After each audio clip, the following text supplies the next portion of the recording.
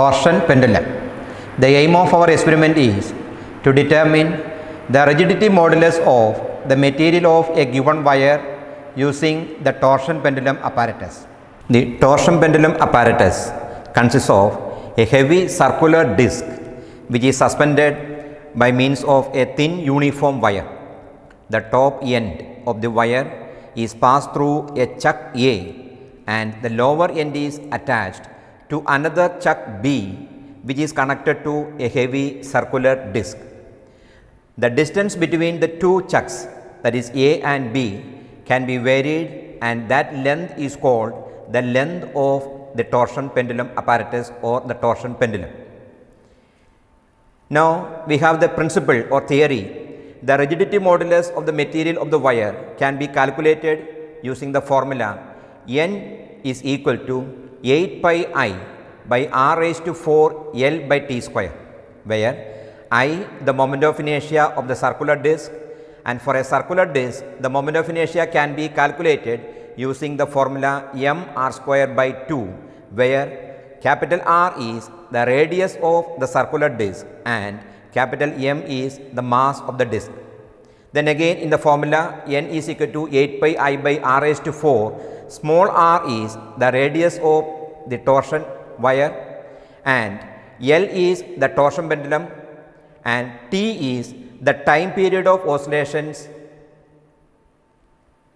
Then in our procedure initially we are adjusting the length of the wire the torsion pendulum wire by moving the chuck A by moving the chuck A we can vary the length. Initially we are taking lengths like 40 centimeter 40 centimeter 50 centimeter etc then the circular disc is twisted slightly and then it is released. Then the disc is performing torsional oscillations and we are taking or we are counting the time period of oscillations for 10 or 20 oscillations. From that we can find the period of oscillations. Then using the formula L by T square we are determining the quantity L by T square. The reason is that in the given formula n is equal to 8 pi i by r raised to 4 L by T square. For a given torsion pendulum the quantity 8 pi i by r raised, r raised to 4 is a constant. So, we can observe that if the length changes the corresponding period changes so that L by T square is a constant. So, we are determining the value of L by T square. Then we can repeat the experiment by moving the chuck A the distance L is varied and for another value of distance say 50 centimeter we are finding the value of T and then T square then L by T square is determined. So, the experiment is uh, repeated for different values of L and the corresponding t and t square value is calculated and then we are calculating the mean value of L by t square. Then substituting this mean L by t square in the formula we can determine the rigidity modulus by the equation 8 pi i by r raised to 4 L by t square. Now coming to the observation tabular column initially for the trial number 1 we are arranging a certain length say 50 centimeter then we are finding the time for 20 oscillations or 10 oscillations. First time we determine the time, the experiment is just repeated once again for the same length, it is repeated once again. So, we obtain the time 2 times, then we are finding the value of mean time, then the period t is calculated, uh, the time for 20 oscillations divided by 20, so that is capital T, then L by T square is determined. So, the experiment is repeated for another length say 55 centimeter, say 60 centimeter, 65 centimeter and so on. Then mean L by T square is determined. The radius of the wire is determined with the help of a screw gauge. We are obtaining the diameter and from the diameter value we can determine the radius. Again to find the moment of inertia of the disc, uh, the mass m of, uh, m of the disc is measured with the help of a balance then the circumference of the disc which is equal to 2 pi r is measured with the help of a string. Then the radius r is determined. Then we can determine the moment of inertia i which is equal to m r square by 2. So that we can determine the rigidity modulus by the formula 8 pi i by r raised to 4 L by t square. So this is our torsion pendulum apparatus. Now this is the heavy circular disc which is suspended by means of the uniform wire. Now between two chucks, now this is the chuck A and this should be the chuck B. This chuck A is movable. So initially I adjusted the distance between the two chucks that is from the top of the chuck B to the bottom of the chuck A. Now it is arranged for a distance of say 50 centimeter that we can vary. So initially I adjusted it for a length of 50 centimeter. Now before performing twist the circular disc slightly to one side and then we are releasing it then we can observe that the circular disc is performing oscillations. The circular disc is performing oscillations. Now you can keep a pointer here. Now you can see the disc is performing torsional oscillations. Now a red mark is put there.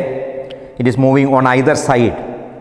So one oscillation means it is coming to one side, then going to the other side, then coming back. We count, uh, we count it as one oscillations.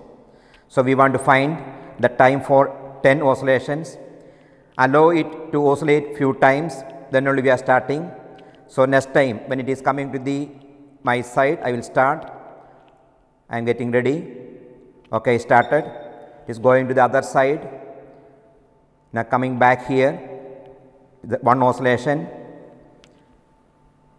again it is moving 2 3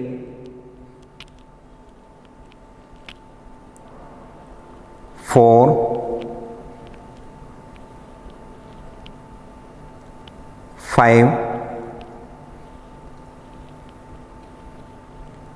six,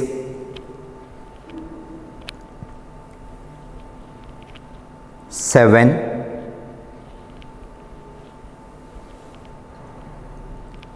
eight,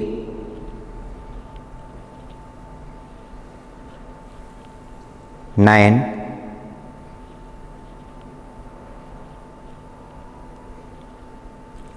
10.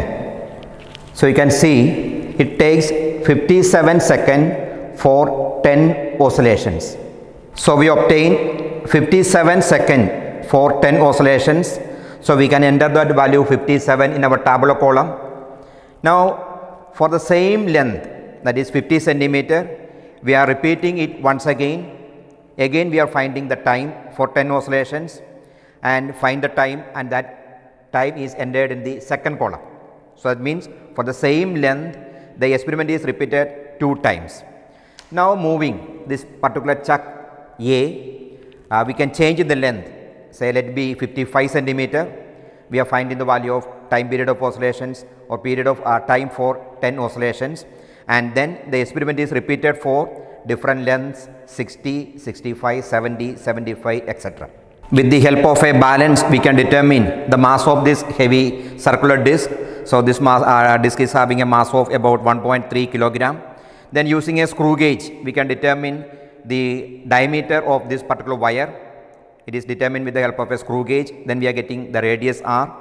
Then to find the radius of this circular disc, uh, we are finding the circumference with the help of a string. The circumference is determined that is c that is 2 pi r now we are getting the 2 pi r value. I am getting the 2 pi r value nearly uh, 74 centimeter here, uh, 74 centimeter. From that we can determine the radius of the circular disc. Here we are having a set of sample readings to find L by T square. So initially we set the length 50 centimeter. Now the time period of oscillation we already obtained 56 second the experiment is repeated for the same length then we are getting 56 again. So, the mean is 56 that is the time for 10 oscillations. So, we are getting 56 by 10 that is 5.6 then we are calculating the value of L by T square L is 50 centimeter that is 0.5 meter. So, 0.5 divided by 5.6 the square that is equal to 1.594 into 10 to the power of 2. Now, the experiment is repeated for another length say 55 centimeter Then the time period of oscillation slightly increases to a value say 59.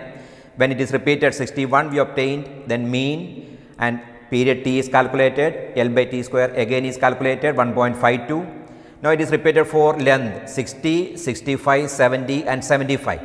In each case we are finding the time 2 times taking the mean then period and L by t square is calculated.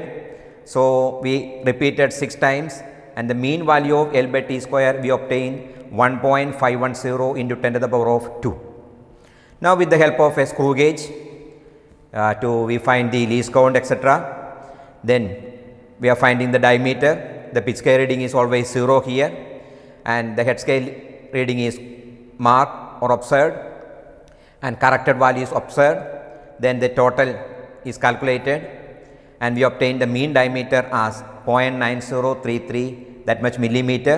So, 0.9033 into 10 to the power of minus 3 meter and then the radius is equal to 0.4517 into 10 to the power of minus 3 meter. Then for the disc we determine the mass with the help of a balance we obtain 1.33 kilogram that is the mass of the disc. The circumference of the disc that is 2 pi r we obtain 46.5 centimeter.